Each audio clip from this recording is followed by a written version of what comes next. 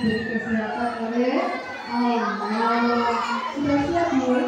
Oke, dipanggil ya. Nanti yang dipanggil langsung duduk di sebelah bunyikan, terus nanti masuk ke kelas. Ya, nomor satu angkat badan.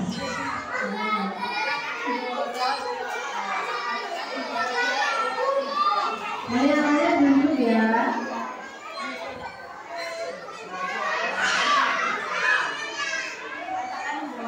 A few moments later.